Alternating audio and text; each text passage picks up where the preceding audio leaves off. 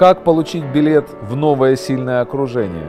Как привлекать в свое окружение миллионеров? Где научиться выстраивать долгосрочные деловые связи? Связи решают все. Ваш билет в сильное окружение здесь. Нетворкинг Кэмп в Грузии. Наш особый гость Маргулан Сесимбаев. Три дня нетворкинга с миллионерами. Новое окружение, новые партнеры.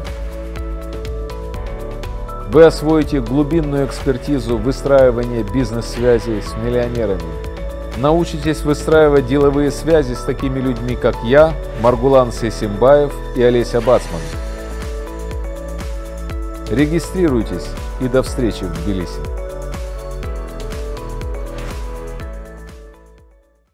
Добрий вечір, шановні друзі.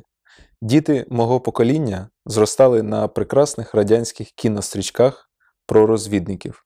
Я досі пам'ятаю, як, затамувавши подих, ми дивилися 17 миттєвості весни, майор Віхр, Мертвий сезон. Звісна річ, я тоді не міг навіть собі уявити, що пройдуть роки, і я зможу взяти інтерв'ю в легендарного розвідника, який став прототипом майора Віхря. Сьогодні у нас в гостях Герой України Євген Березняк.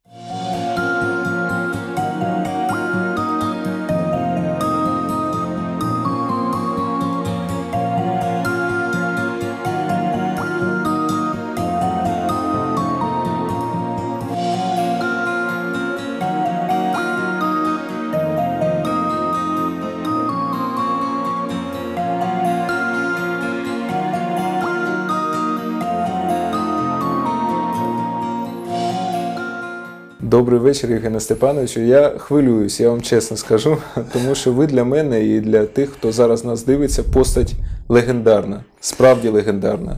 Добрий вечір. Я радий з вами зустрітися і буду відповідати на ваші питання, якщо вони є у вас. Євгене Степановичу, скажіть, будь ласка, справжні розвідники е, чимось відрізняються від тих, кого ми бачимо по телевізору чи на кіноекранах? Ну, ось я думаю, що чимось відрізняється. А чим важкувато може дати відповідь на це питання? Ну, на телеекрані чи на кіноекрані ми бачимо в ролі розвідників артистів. Значить, вже є різниця. То артист грає роль розвідника, а розвідник не грає роль розвідника, а виконує завдання по лінії розвідки. Е, інколи на екрані ми бачимо розвідника такого супермена, такого, е, значить, е, ну, який в очах молодих людей і людей, які мало знайомі з діяльністю розвідки, викликають подив, а може і таке здивування десь якісь такі незвичайні якісь трюки, незвичайні пригоди. Е, які важко е, важко зрозуміти людині, яка не не, е, некомпетентна, не знає справжньої розвідки. Розвідник все-таки це звичайна людина. І розвіднику, розвідник не позбавлений тих е, якостей, які, які має звичайна проста людина. Розвідник кажуть, що безстрашний розвідник. Кажуть, що розвідники, розвідник нічого не бояться, що в них немає таких людських якостей, як, скажімо, е, боязнь. Це так? Я думаю, що це не так. Все це присуще е, притаманне розвіднику, але в розвідника є, може, трохи, трохи інші якості розвідник може подолати, скажімо, хвилювання, неспокій якийсь, е, екстремальну ситуацію, справитися з цією ситуацією, бо він в певній мірі підготовлений до цього. Е, розвідник від, відрізняється від звичайної звичайної людини, звичайного громадянина, може з такою зібраністю. Е, настороженістю, вмінням спостерігати, аналізувати, прогнозувати. Це ті якості, якими має володіти розвідник. І не завжди наші звичайні люди, звичайні громадяни володіють такими якостями. Із задоволенням перечитав ваші книжки, і як я розумію, ровно 60 років тому, саме в ці дні, ви були в Гестапо. Що це була за історія? Ви можете зараз розповісти? Ну, якщо ви бачили е, е, художній фільм Майор Вихор, там майор Вихор на другий день після десантування потрапив до німецької жандар- жандармерії. В фільмі, хоч це фільм художній, але показано правдиві події того часу. Ви консультували режисера. Е, Юліан Сімонов, м, перш за все, детально знайомився із моїм, з моїм досьє в Генеральному штабі Збройних сил Радянського Союзу. Я познайомився з своїм досьє через два роки після того, як Юліан Сімонов познайомився з ним. Юліан Семенов е, перечитав всі мої радіограми, рапорти, е, все, е, що стосувалося такого спілкування службового із головним управлінням розвідки. Він е, перед тим, як створювати сценарій е, фільму Майор Вихор, вийшла його книга, роман Майор Вихор. А вже на підставі, мені здається, цієї книги був створений сценарій. Е, Юліан Семенов у у фільмі е, Майор Вихор в основу сюжета покладено, покладені справжні факти, події справжні, які мали місце в діяльності моєї групи, групи, якою я керував. Ну, якщо ви пам'ятаєте фільм, е, значить, майор Віх потрапив до гестапо, спочатку до жандармерії, пізніше до гестапо.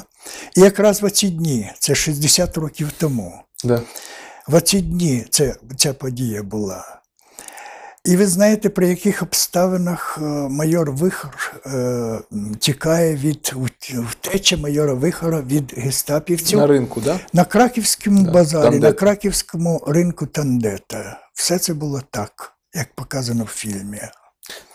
Багато документальних таких е, кадрів використано в, маю- у фільмі Майор Вихор. Ну, ви знаєте, в багатьох із нас є такі вже стереотипи, що коли радянські люди потрапляли до застінок е, гестапо, їх починали бити, питати, е, виривали в них таємницю якусь військову. Скажіть, коли ви потрапили до гестапо, ви зрозуміли, що це вже кінець, чи були якісь думки, що можна врятуватися?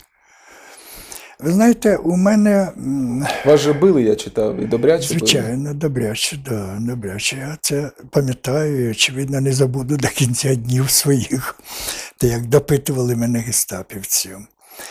Е, Після того, як жандарми передали мене в гестапо в Краківське, на вулиці Поморській було управління гестапо. От після того, як потрапив я до гестапо, там уже почався справжній допит. Яким він Ну, був? е, значить, на цьому допиті, на цьому допиті е, я зрозумів, що якщо їм просто з самого е, з перших хвилин допиту скажу, що я військовий розвідник, підніму руки і здамся, то хто його знає, чи повірять тоді гестапівці в те, що я їм буду говорити далі. Тому тоді, е, тому, е, коли я був ще в е, камері жандармерії, я придумав нову легенду, якої в мене не було в запасі з собою, коли я вилітав і десантувався в районі Кракова. Цьому не вчили. Я, легенда ця зводилась от до чого, що я маршагент. Це зв'язківець маршагент. Така посада, е, ну, чи маршагента є у всіх розвідках світу. Завдання маршагента входить прийти, передати, одержати, піти. Я мог, так сказати, могли е, гітлерівці мені повірити, що я маршагент, тому що в мене був комплект радіобатареї е, для рації. Гроші мене був- були. У мене були гроші, причому доволі, е, досить велика сума, навіть долари були. І час. фунти англійські були, райсмарки, Deutschmarки, е, були окупаційні злоти і так далі. Все це може, може бути схоже на маршагента. Він мав передати велику суму грошей, радіопитання для рації, одержать пакет і, пере, і вернутися через лінію фронту. От до цього зводилася моя легенда. Но я її видав не на першому допиті. На першому допиті, е, а тоді, коли на допиті я ну, е, відчув, що я в- м, втрачаю свідомість, і що е, другий допит може не состоятися, не відбутися, тоді я сказав, що я маршагент. Мы с вами знакомы уже 76 часов. Будем продолжать знакомство или закончим? Будем продолжать. Так били сильно, що втрачали свідомість. Ну, я вам скажу, що вони були кваліфіковано. Як? Дуже сильно, дуже кваліфіковано. Вони, е, е, вони намагалися людину, яку вони питають, вивести за свідомість. Понімаєте? Що він підсвідомість може спрацювати в людини, і він може видати те, що він би не видав при нормальному стані. До цього вони доводили жертву завжди. Гітлерівці повірили, що я маршагент, бо я був схожий на маршагента. І тоді повірили і десь 23, 24, ні, 24, 25, 26 серпня водили мене на тандету. А 27-го був останній день Для призначений зв'язку, мой для, для того, щоб зустрітись із марш із самим резидентом чи представником радянської розвідки. Мгм. У мене вже я втратив абсолютно всі надії на те, що можна втекти від німців. І прийняв я таке рішення при будь-яких обставинах 27 серпня Тікати. тікати. Я зрозумів, що німці можуть убити мене, і для мене було це легше, ніж повертатися в камеру смертника, де на мене чекала петля або освінцім і, так сказати. Але сталося так, як показано в фільмі.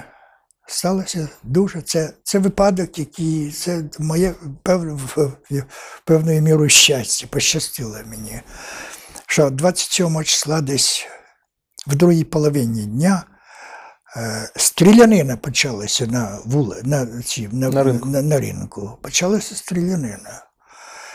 Я пізніше довідався, що то була облава на е, валютчиків, на тих, хто торгував грішми. Облаву цю е, проводила жандармерія, очевидно, без згоди і погодження з гестапо. І все це дало мені можливість втекти. А Збіг як це було, як це було показано буквально документально в фільмі. Може, за винятком того, що я е, не забігав в парикмахерську. Парикмахер мене не ховав в той самий. Е, Підсобці. Да, да, да, цього не було. Там було проще. Мене людсько, людським натовпом знесло, винесли мене люди з цього базару. Така була, така, не, не, ну, не можна пояснити, не можна пояснити навіть розповісти, яка це була паніка така страшна. Я потрапив на набережну, а тоді тихенько пішов, уже користуючись своїми знаннями і кваліфікацією розвідника. Я потрапив за місто, а на другий день на явку. Явка в нас була, у мене була явка селі Рибна, будинок номер 448. Малік. Пароль для зустрічі з хазяїном. Чи ма пан для вшидання слівки? Отзив такий був. Слівок німам, мож, мож, можу спшедати ябки, можу продати яблуки. От состояли зустріч, а тоді вже була діяльність групи, яка розкрита і показана в фільмі Майор Вихор. Читаючи ваші книжки, помічаю, що смерть буквально ходила за вами по п'ятах. І дуже часто Да. був такий збіг обставин.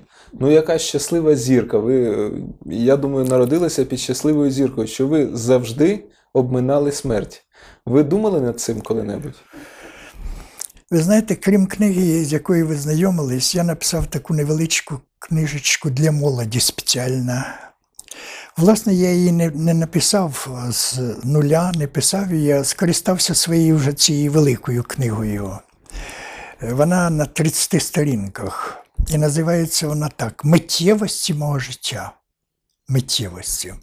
От я нарахував таких 12 чи 13 миттєвостей, коли до кінця життя залишалися хвилини, секунди, міліметри чи сантиметри. Бо був такий випадок 16 вересня 44-го року, коли я від німців залишався на відстані однієї дошки. Коли ховалися, да, я Коли я це. був, коли я був в сховищі, коли заарештували мою радистку. дівчину. Угу. Мене відділяла одна доска, одна доска. Я б не якось незграбно повернувся чи чихнув би, то все, мене б уже не було. Півтори години тримав цей, тривав цей е, допит радистки і господаря е, цієї самої радіоквартири. Я витримав це, і німці мене не, не знайшли там. Не було в них собаки, і вони, так сказати, не, не, не допетрили. стріляли, мабуть, да? да, да, да. В цьому сховищі мені було важче е, півтори години провести, ніж е, тиждень у гестапівській тюрмі в камері смертника. Ви знаєте, яка це була. Але сталося так, що бачите. От у мене дуже цікавий був такий, така миттєвість у моїй біографії. Е, В Дніпропетровському підпіллі я був до е, виконання завдання по лінії розвідки. І у мене була така друкарська машинка Ленінград з широкою кареткою, множительний апарат. Ми видавали, друкували ли- Листівки. листівки і так далі. І оця листів, оця саме е, друкарська машинка, е, тепер наган, пістолет, наган, е, папір. Сховали ми в курятнику, в будинку, де я жив, громадянина такого Демиденка. Сховали в курятнику. Е, Поліцаї прийшли, мене арештували тоді, в той, в той час. Заарештували і був обшук. Все перевернули, і поліцай хотів залізти в курятник, але там е, двері були, дверці були такі, що його е, туша не помістилася в ці двері. І він не міг потрапити до цієї, до, до, до цієї, Схованки, куря... да? до цієї схованки, Ага. понімаєте? І оце врятувало становище. Якби цей, е, його, так сказати, е, комплекція дозволила йому прони... е, зайти в цей курятник, він би знайшов там. І знов збіг обставин. І знову збіг обставин такий. У вас не да. було ніколи думки, Боже, невже це я, невже це зі мною? Ну, звичайно, та ні, напевно, ні. Якось так траплялося, що я приймав це за звичайне таке явище, за, за удачу, за те, що мені повезло. І таких миттєвостей було чимало. Ще було таке, значить, на, е, це в Дніпропетровському підпіллі поліцаїв в, друг, в другому селі, хутір Миколаївка, колгосп Карла Маркса. Це е, Петропавлівський район Дніпропетровської області. У мене оця друкарська машинка, про яку я говорив, була на горіщі. Папір там був, множительний апарат і так далі. Поліцаї робили обшук. Забралися на горіще і натрапили на сулію самогону. І все, більш нічого і їх все. не цікавило. Вони далі не полізли. Ви, ви розумієте, от, от ситуація така була. І вони далі не пішли. Вони були дуже задоволені, що вони натрапили на цю четвертину самогону, забрали цей самогон і почали, пія, почали пити. До безтями вони напилися, що мені нічого не залишилося, як тихенько піти, відірватися від них і піти в степ, і піти геть. І тоді, коли вже я був заарештований ними. От теж, пожалуйста, скільки в мене таких миттєвостей було. Не кажучи вже про цей базар Тандету, не кажучи вже про цю санку, де я був за, е, в цьому сховищі. Ви дорожили своїм життям. Взагалі, ви були готові вмерти чи ні? Внутрішньо ви були готові тому, що все може залишитися? Безперечно. Закінчитися. Без, безперечно, безперечно. Ви розумієте, що е, в, оперативній розвідці я, я був е, в оперативній розвідці. Знаєте, що є стратегічна розвідка, оперативна. От я був в оперативній розвідці. Ну це гру, так? Це груда. Так Так от, з оперативної розвідки. З оперативної розвідки е, закономірним, закономірним було явище 75% потерь. Три із чотирьох закинутих і десантованих в тил, це нормально вважалося, що вони залиш... йшли на той світ. Ви знали це, коли навчалися? Абсолютно знали. Всі знали. Радистка моя знала, і хлопці мої знали. знали Але йшли на це. Але ми йшли на те. Можна Причому ми йшли, я вам пробачте, я, я вам скажу, ми йшли от на, на завдання е, в район Кракова. Ми йшли вже тоді, коли е, на території нашої держави не було окупантів. перемога Були німці тільки військовополонені. А ми йшли, щоб допомагати брат. Ну, я, е, мені важко може зараз якось пояснити це явище. Е, у мене був такое неотдалимое желание на русском языке говоря мстить німцям. Тому що я бачив і був свідком страшних злочинів німецьких. Я в Дніпропетровському підпіллі бачив страшні злочини своїми очима. Наприклад. Я, е, значить, от в березні місяці 43-го року я вийшов з своєї квартири на вулиці Виконкомській в Дніпрецовській. У мене в дворі на дереві була повішена людина. Табличка була в, цій, в цього чоловіка така. Він слухав московське радіо. І як пізніше з'ясувалося, в ту ніч більше ста ні в чому не повинних людей в Дніпровцовській німці повісили на всіх вулицях для устрашення населення. В Дніпровській я був свідком такого, е, такого випадку. На заводі Петровського, де німці ремонтували свої танки, один робітник не витримав глумління з боку німецького офіцера, заїхав його по фізіономії. Цього робітника розстріляли і розстріляли 100 заложників. З Дніпропетровська зібрали старих людей, дітей, 100 людей. На цьому заводі 100 людей розстріляли за те, що дав пощочину цьому самому німецькому офіцеру. Я був свідком такого явища в селі Юріївка, недалеко, недалеко від Дніпрецовська. Хлопчики 11-річні носили партизанам хліб чи воду носили до посадки. Німці піймали цих хлопців і на площі в Юріївці розстріляли 11-літніх дітей. Це те, що я був свідком. Був свідком. Ну, ви знаєте, які злочини, які злодіяння гітлерівці творили на нашій землі.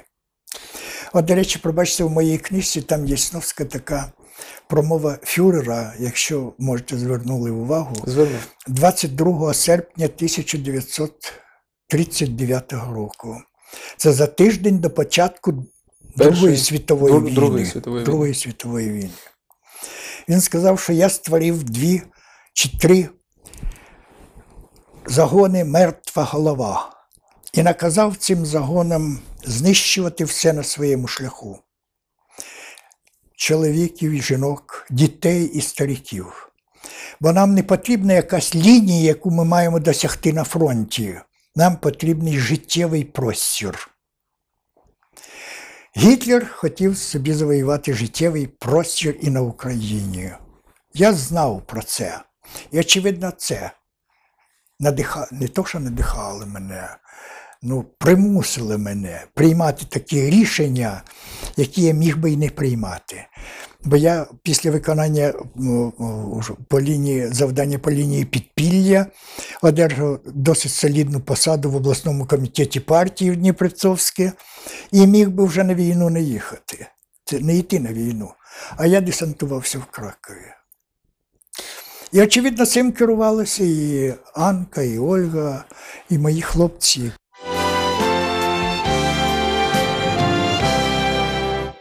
Дорогие друзья, несколько месяцев назад я открыл в интернете Академию Дмитрия Гордона. Что это такое на самом деле?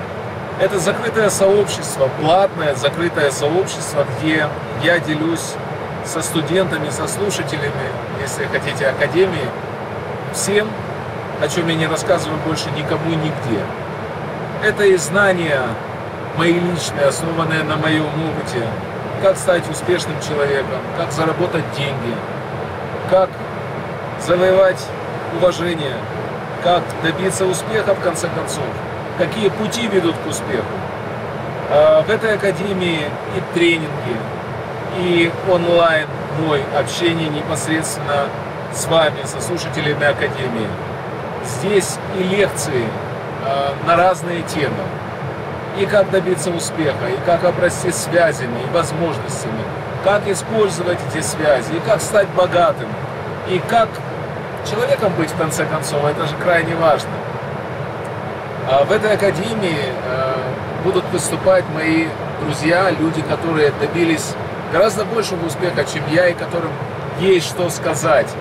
Эти люди будут рассказывать о своем рецепте, о своем пути к успеху. Они будут давать бесценную информацию, благодаря которой любой из вас сможет стать таким же успешным, как они, и даже превзойти этих людей. А Мы будем также практиковать онлайны моих звездных друзей, известных, влиятельных друзей для слушателей Академии. Мы также будем делать поездки совместные в разные города, в разные страны, в которых будут принимать участие как люди, добившиеся огромного успеха в бизнесе, миллиардеры, мультимиллионеры, так и звезды эстрады, звезды спорта, а, выдающиеся режиссеры, те, кто могут поделиться из уст в уста а, своими реальными секретами. Олеся Леонидовна, я все сказала или нет? Более чем. Я не знаю, что мне добавить. Вам нечего добавить? Ну, потому что я сейчас чувствую, что я сама стану твоим студентом после того, как ты о ней все так рассказал. Ты уже много лет назад стала моим студентом. Причем успешным. Причем успешным. Дорогие друзья, как хорошо, когда ты говоришь и больше нечего добавить. Краткость – сестра таланта. Как говорит мой друг, много слов – мало денег. Мало слов – много денег. Жду вас в Академии Дмитрия Гордона.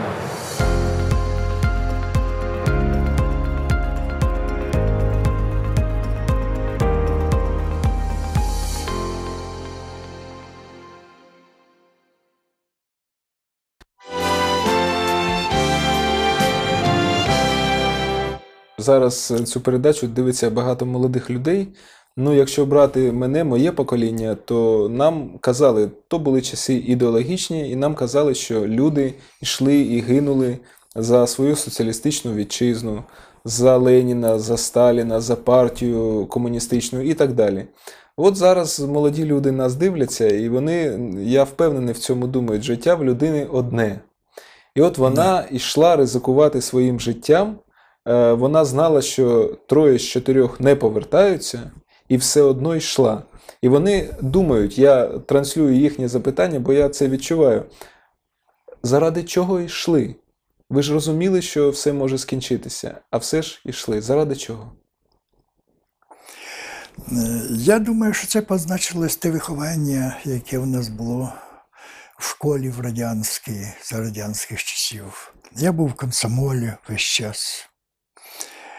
Ми е, виховувалися на прикладах е, такого життя, таких героїв. Павки Корчагіна, скажімо. Ми виховувалися на бойових е, таких прикладах і мужніх людей часів громадянської війни і так далі. Мені здається, що це виховання позначилося на цьому. Виховання на цьому позначилося. І тоді я думаю, що е, надихало нас іще шана і любов до батьківщини Справжня любов. захистити батьківщину. Коли я, е, у мене ж вік тоді був, ну, е, мені було е, 30 років. Я, я тоді зрозумів, якщо не переможемо ми е, гітлерівський фашизм, то не буде держави нашої. Я вже тоді це розумів.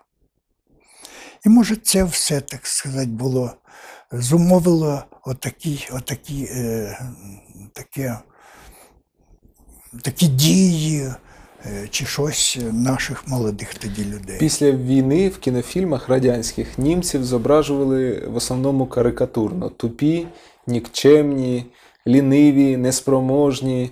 Е, не вмі... кого? Німців зображували, А, німців. не вміють воювати. Потім їх зображували вже більш-менш правдиво. Скажіть, а яка е, правда була? Які вони були німці? Ви з ними багато спілкувалися. Німці були підготовлені до війни серйознішим образом, набагато краще, ніж ми. Я в цьому абсолютно не сумніваюсь.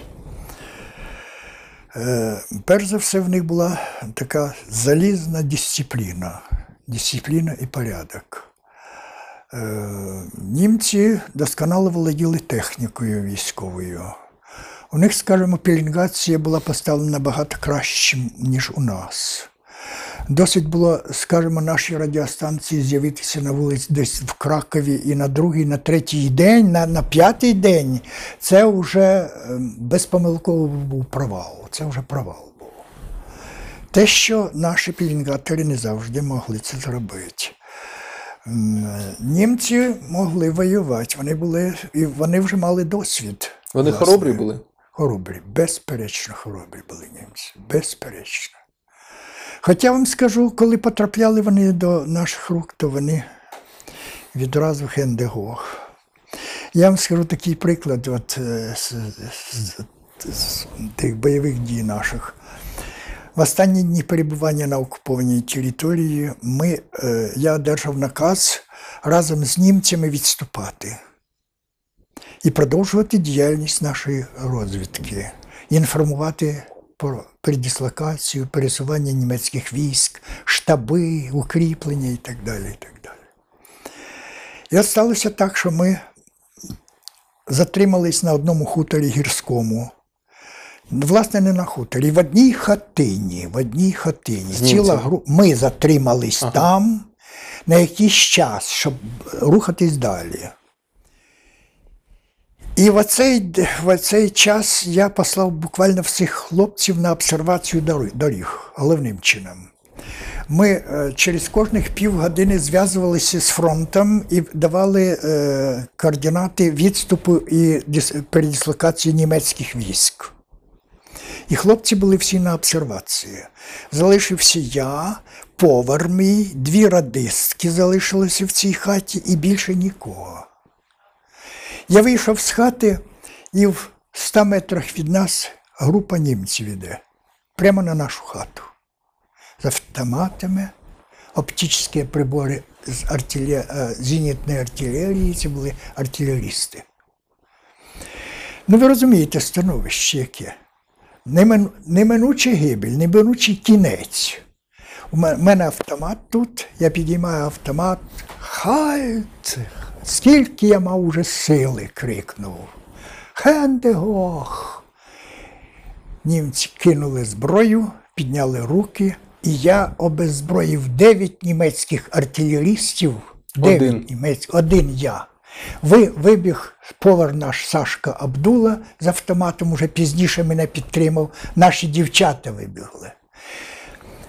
І німці Хендегох забрали ми всі документи, забрали зброю. Вони, звичайно, думали, що ми з ними е, возитися не будемо. Подивився я на цих німців, а це вже була по тотальній мобілізації гітлерівської. Там були хлопчики по 17-18 років Підлітки.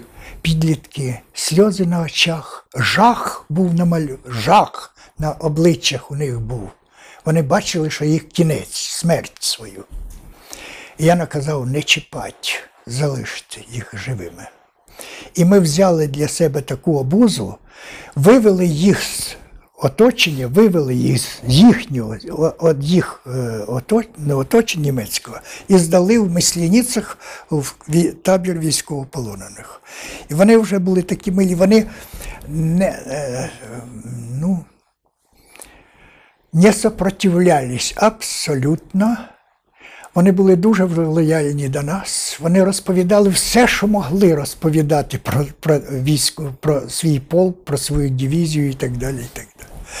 Так що е, вони вже наприкінці, уже тоді, коли вони бачили неминучу, неминучу Інші поразку. Ім, інші. ні, да. От тоді вони вже, так сказати, у них потрав і героїзм їх зник, і мужність, і, і патріотизм, і так далі. Я вам поставлю, може, болюче запитання. Е, Ви знаєте, зараз ми бачимо, в яких умовах живуть німецькі ветерани війни в Германії, в Німеччині, і в яких умовах живуть наші ветерани війни тут в Україні, та й в Росії, та й в Білорусі, та й, власне кажучи, повсюду в бувшому Радянському Союзі.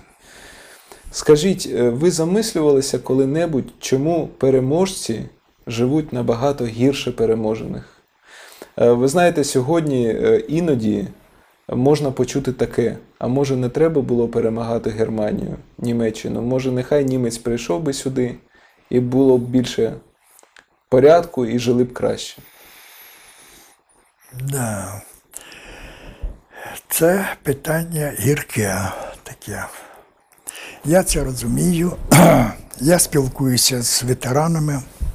Я член ветеранської ради е, столиці нашої міста Києва.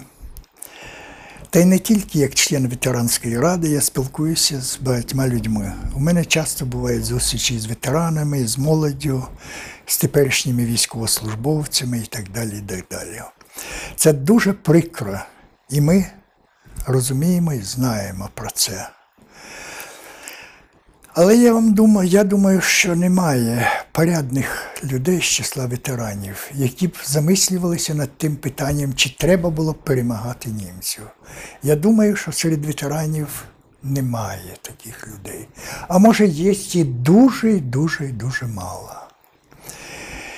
Ви розумієте, що в біду попала моя батьківщина, в біду попала.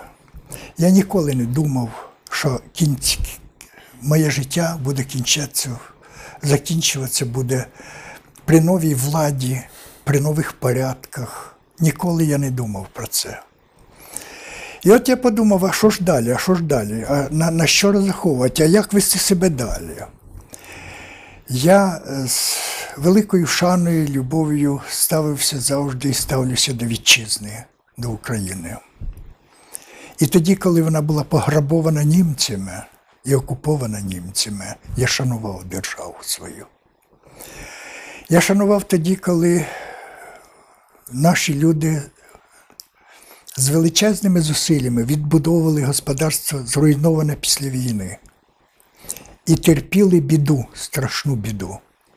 Ведь у нас не тільки сьогодні біда, у нас була біда після перші післявоєнні роки. Страшніша була біда. Страшна біда була. Я шанував і тоді державу, бо це моя вітчизна. І в мене іншої вітчизни нема. Немає. Я особливо шанував вітчизну і любив вітчизну тоді, коли вона, ви це, очевидно, вже пам'ятаєте, це за, за, за, вашого вже свідомого життя. Вона в, в складі Радянського Союзу займала чи не провідне місце по розвитку культури, освіти, господарства. І жили ми вже непогано. Ми вже жили непогано. Тоді я шанував її. Мені тоді часто довелося бувати за кордоном. Я е, був, очолював делегацію України на засіданнях ЮНЕСКО. Е, бував я в Парижі, в Лондоні, в Женеві, в Брюсселі, у багатьох країнах капіталістичних, не кажучи вже про соціалістичні. І я завжди гордився своєю державою. А зараз моя вітчизна потрапила в біду. І не з вини мого покоління. Не з вини мого покоління. З вини тих, кого ми вчили і виховували. Я, може, чимось винуватий перед державою своєю, бо я був 30 років начальником головного управління шкіл. Це люди, е, які вчилися в школах, якими я керував.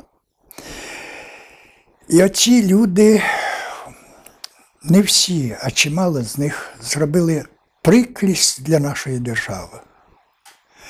Ви розумієте, мені здається, що у нас протягом останнього десятиріччя, протягом 13 років, а зараз ми відмічаємо 13-ту річницю незалежності, у нас якось не було е, таких професійних, високо, е, ну, може навіть обдарованих людей, які б могли підняти народ, підняти народ і побудувати щось нове, щось нову державу. Блудимо ми протягом багатьох років, блудимо. І можна так сказати, блудимо. Так і є. Так і є, блудимо. Не знаходимо прав... не, не знаходимо стежинку, по- по якій треба йти і підняти господарство, підняти народ наш. І от в цих умовах я теж шаную державу нашу, бо вірю, що все-таки буде в нас порядок. Може він і незабаром, може незабаром буде цей порядок.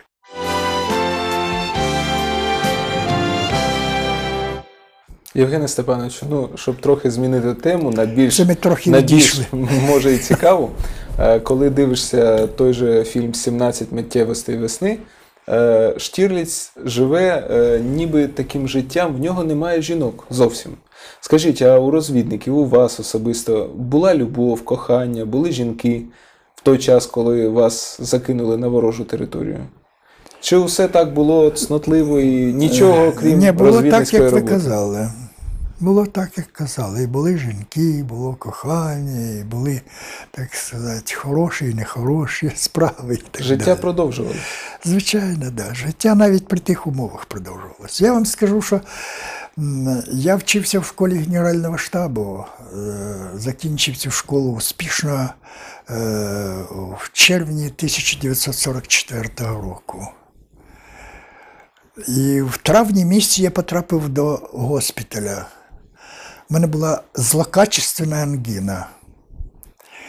Причому полковник лікар мені сказав, що ти, хлопче, е, повертайся в військову частину. Він не знав, з якої я військової частини, бо це не положено, не можна було знати. Повертайся до своєї військової частини, і через місяць ти маєш бути в нас на операції. А я через місяць вже був в тилу. І ви знаєте, от е, зимою, взимку, парашутне полотно на снігу. І ми спали на парашутному полотні. Ангіни в мене ніколи не було, температури ніколи не було. Очевидно, організм в такій ситуації настільки він, так сказати, мобілізований на противодействие, що ніяка хвороба не брала. А між тим, значить, люди є люди. Люди є люди, особливо молодь у нас. У нас е, дівчата були радистками, хлопці були, як правило, як правило, керували цими дівчатами. Да. Знайомства були всі, були всякі. Хоч нам е, категорично заборонялось спілкуватися між іншими групами. Да? Категорично заборонялось нам спілкуватися з групами по лінії е, органів державної безпеки. Може, ви бачили останню передачу по московському е, по ОРТ. Передача була така. Значить, була показана паралельно група військових розвідників під керівництвом цього Березняка. Угу. І паралельно показана група, диверсійна група по лінії е, органів державної безпеки.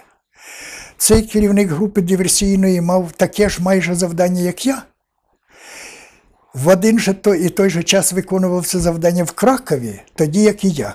Але наш ми ніде не зустрічались, ми ні- ніде не пересікалися. І не знали один про І абсолютно не знали. Я зараз тільки через московське ОРТ довідався, що в той час, коли діяла наша група, ще діяла паралельно зі мною диверсійна група по лінії контролю, по лінії тих самих е, органів державної КДБ. безпеки. Ви знаєте, я е, читав книжки Суворова Різуна, е, в тому числі Акваріум, славнозвісний, про діяльність ГРУ Генштабу радянської армії. Е, Скажіть, е, як досвідчений розвідник, те, що пише Суворов, це правда чи ні? Значить, ви розумієте, Суворов такий досить оригінальний метод брехні у нього. Це грубовато, я кажу. Ну, ну, ну, ну брехня є брехня. Інакше про це й не, Не можна говорити. Він спочатку дає правду на одній сторінці, а потім на десяти сторінках брехня. Людина читає правду і починає вірити Суворову. Не дивлячись на те, що там уже 10 сторінок брехні. Понімаєте? От такий, от такий коварний метод зрадника.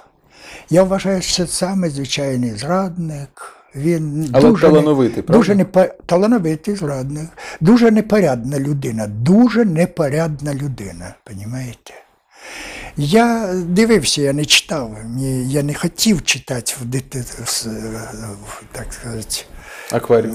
а- цей акваріум, але я її продивився по діагоналі. І кажу, і оце те, що я кажу. Там є, да, там є просвіти правди. Є правда, а тоді порції в 10, 15, 20 разів більші порції неправди.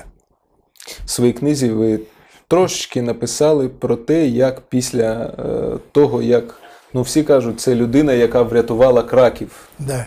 Після цього успіху, після інших успіхів, після перемоги, коли ейфорія настала, коли тільки радіти життю, ви опинилися в фільтраційному таборі, радянському вже, Да. і знов життя Ну, що могло вам... закінчитися трагічно. Знаєш, Дмитрій Ілліч, я вам скажу таке, що настільки складні були ситуації, настільки складні були обставини е, і та й ситуації ті. Потрапив керівник групи Березняк, оцей самий, потрапив до рук гестапо. 27 серпня 44 року на Краківському базарі втек- тікає від гестапо. 16 вересня 44-го року до рук гестапо потрапила радистка цього самого Березняка. А через 10 днів вона повертається в розвідку. Якби я був в СМЕРШі, в контррозвідці, я б взяв би під сумнів ці події. Бо це може, може на десятки тисяч випадків може бути один, а може і хто і, чи, і як повірить в таку ситуацію. Підозрювали зраду. Безперечно, безперечно. І перевірка мала бути. Я це не виключаю. Але не така перевірка. Нікуди не збирався Березняк виїжджати із своєї держави. Хай би він Та собі куди працював, і Куди? куди виїдеш. Хай би він собі працював, а органи держбезпеки вони мають досвід. Хай би собі перевіряли рік, два і десять років. Хай би собі перевіряли. Но людину брати до лагеря, до табору, оточеного колючою проволокою, із дуже е, великою кількістю хам'я, в числі слідувателів, там хамство було страшне по відношенню до цих людей. Мені так запам'яталося, ви пишете, що і герої Радянського Союзу Да, там були, і да, полковники, да, і генерали, да, да, і всіх да. вистроювали Да. там на плацу. І... І він побув, він побув десь в оточенні, чи побув десь, побув десь в полоні, чи з оточення вийшов А це ж мільйони людей а були його відправляли в табір. Це безпорядок, це не порядок. Мені морально було е, набагато важче в таборі НКВД СССР, ніж в камері смертника. Я там знав, що зі мною переді мною ворог. Або він, або я. Там було, так сказати, один один проти одного. А тут що? Про- серед своїх, розумієте? Це страшне. Це моральна травма, яка вона буде до кінця життя, звичайно. Паскудно на душі було. Да. Ви пишете, що хтось навіть не витримав цих підозр, повісився. Це ну, так? у мене по нарах, по нарах е, був, е, значить, дуже добрий приятель такий, хороший чоловік, майор, колишній секретар Криворізького міського комітету партії. Секретар міського комітету фігура. партії. І він потрапив на цю державну перевірку після того, коли він був в оточенні, але навіть не, не в полоні. Але з оточення вийшов, сам вийшов якось. І от для того, щоб перевірити, чи правду він каже, його запрохторили в цей лагерь. І він настільки е, був такий е, значить, ранімий, як це Порядна кажуть, людина була. порядна людина, він не, не витримав оцього, так сказати, Підозр. ну, глумління такого. Не витримав. Він сказав, що він хворий в один із днів нашого перебування в цьому таборі. Сказав, що він хворий. Справді він не хворів. Але він прийняв рішення, яке сам здійснив. Ми прийшли з роботи, привели нас з роботи, а він на нарах повісився. А цей чоловік. Я його добре пам'ятаю, дуже порядна людина. Так було, нікуди не А що слідчі? Вони себе погано поводили по відношенню до А слідчі, ну, ну ви розумієте, от е, значить, у мене був такий. Е, причому е, е, мій, так сказати, е, національно свідомий. Був, значить, е, Саєнко прізвище. Я, бачите, називаю навіть прізвище я зараз називаю. Можна його може не- не будете називати, це, це ваша справа. Саєнко. Він як правило, ночні, е, вночі допити були, як правило. Вдень ми працювали, десь грузили вугілля, Герої. Чи на, герої, чи на поле нас водили там. Да. Парад Побєди був, а ми були в таборі. Парад Побєди. Ви розумієте, як можна було витримати це? Так от, е, значить, м, вночі, як правило, допитували. Я пам'ятаю ці допити. Вреш, сволоч і так далі. і так далі. Били? Да, ні, Не били? ні, не було. Врешь, сволочь, ты будешь говорить правду. Мы тебя отправим в штрафбат на японский фронт, допустим. Это було, мог би бути такий ісход. Але мені допомогли наші розвідники. В розвідуправлінні довідалися, що я попав в цю халепу. Ви записку зуміли Я передати? передав, передав записку через водителя полуторки. Передав записку. І те саме.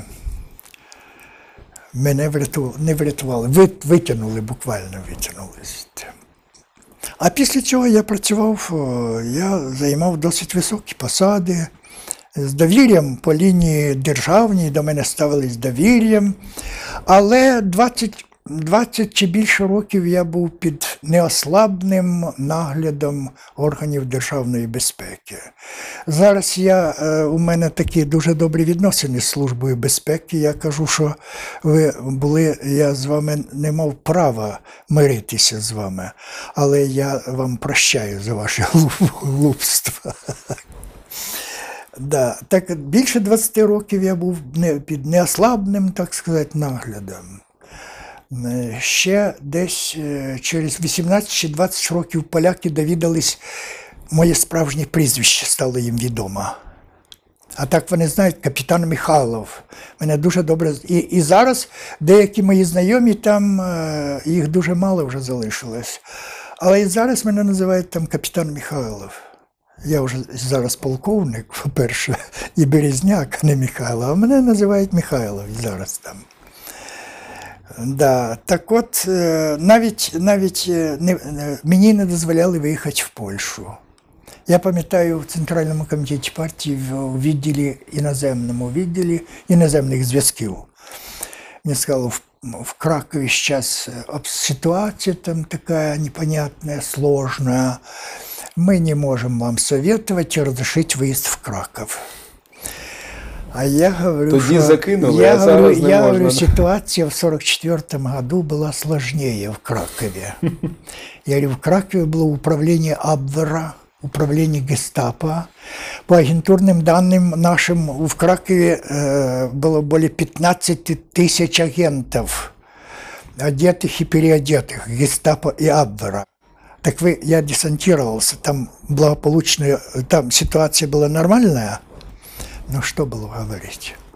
А потом все стало на место после того, когда е, перша публікація, перша публікація, бачите, на російську мову переходить так, як ми говорили. Да, перша публікація була в Комсомольській правді в 66-му році. Називалася публікація «Гордний должен умереть». И предисловие к, с- к этой э, публикации написал маршал Соколовский. Он писал так. «Все то, что рассказано здесь, отвечает действительности и подтверждается документами, которые хранятся в архиве Генерального штаба с грифом «Хранить вечно, уничтожению не подлежит». Там была правда о деятельности группы о спасении Кракова.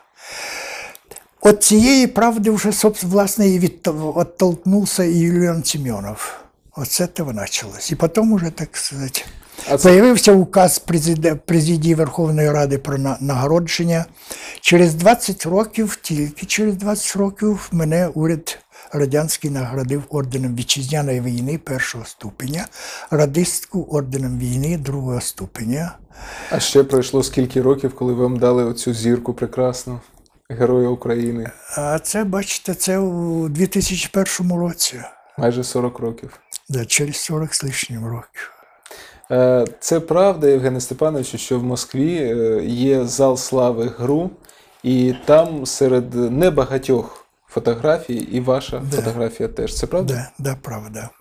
Чиї там фотокартки ще є? Ріхард Зорге, Там да? Ріхард Зорге, Петро Верш, е, Вершигара, Осіпова, відома розвідниця. е, Знаєте, це вона зв'язана з ліквідацією гауляйтера Білорусії Кубе. Е, Ну, а там 40 прізвищ. Ні, 30, 30 прізвищ там є. Усього 30 прізвищ. І ваше 30 серед них. на, на багато десятків тисяч. 30 прізвищ. А там, ви знаєте, я коли вперше після війни е, завітав до головного управління розвідки, знайомився своїм досьє. Я вам казав, що через два роки після Юліана Семенова я знайомився з своїм досьє, то генерал, керівник е, цього управління, взяв мене за рукав і каже: покажу я тобі, хлопче, зал слави совєтської розвідки. Ми пройшли по всьому залу, я пізнав Вершигора, звернув увагу на Зорге. А свій портрет я пройшов, не впізнав я себе і уважно не дивився. Каже, що ж ти за розвідчик, якщо себе не узнала здесь. Повернув мене до мого портрету і показав, що це, по-моєму, персона Березняк називається. Є, да, є там. Шановний Євгене Степановичу, я дуже вдячний вам за цю розмову. Е, Час сплинув непомітно, чесне слово. Ви знаєте, усі 13 років незалежності нашій Україні, на мій погляд, бракує е, двох речей: ідеології і героїв. Я дуже радий, що сьогодні багато людей, які нас зараз дивляться, подивилися на справжнього героя, скромну, чуйну, порядну людину, в якого є ідеали, в якого є душа, в якого є спогади. Е, Людям бажають дожити до 100 років, я вам бажаю жити набагато більше, бо 100 років буде вже незабаром. Незабаром, да. Живіть довго, будьте для всіх нас прикладом. Будьте здорові, дякую вам. Спасибі велике вам. Дякую дуже.